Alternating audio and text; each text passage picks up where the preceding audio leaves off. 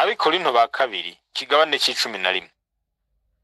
Icoma mukanyihanganira ku bupfu buciyemwo kandi n'ubwo muranyihanganira. Ndabafitiye ishari ryo kubw'imana kuko nabahaye umugabo umwe ni we kristo.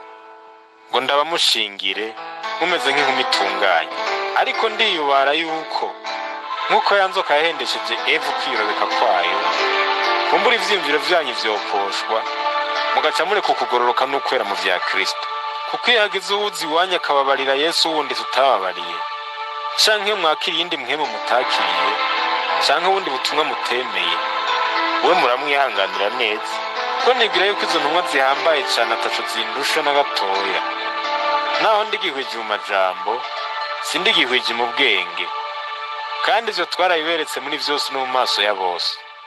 Canke mbega naracumuye kuko nicishije bugufi ngo mushirwe hejuru? Ndababwiye ubutumwa bwiza bw'imana ku busa. Nasahuye yandi mashengero ndayaka ingero kugira ngo nkorere mwebwe. Kandi aho nari kumwe namwe ngakena. Sinagize uwo ngora. Kuko abavukanye bavuye i makedoniya bamaze ubukene.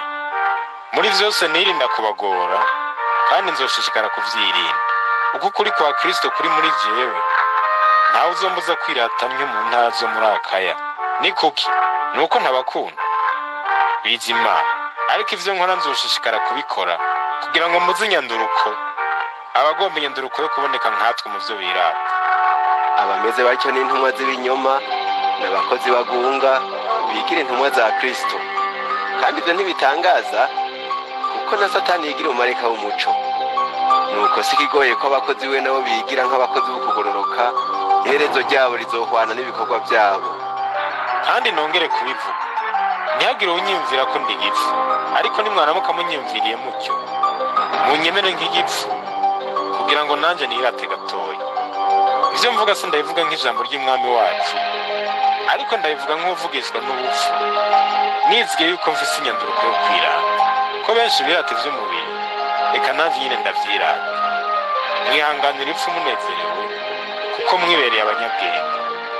Murihangana iyo umuntu abagize abaja iyo abariye iyo abafashe iyo yishyize hejuru iyo abakubise urusha ndabivuga nk'isoni bisa naho two twabagizemo intege nke ariko ikintu cyose gitera umuntu gushirika umwete ndabivugishijwe n'ubupfu nanjye kirabintera mbega abo n'abaheburayo nanjye ndiwe.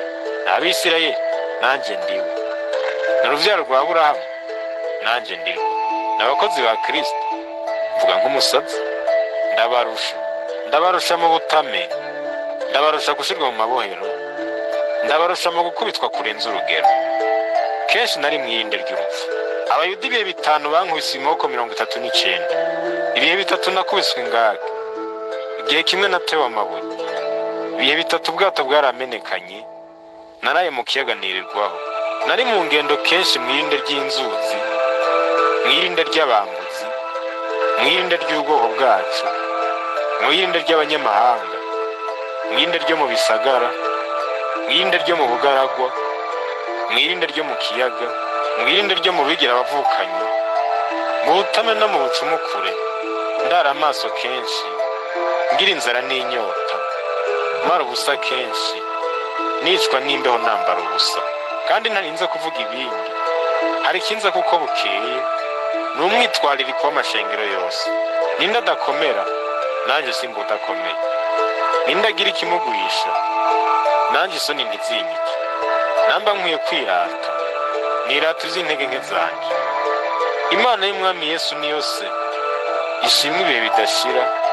Irazi ko ntabesha idamasi igicegera c'umwami areta. Carindishije igisagara c'abanyadamasiko ngo bamfate.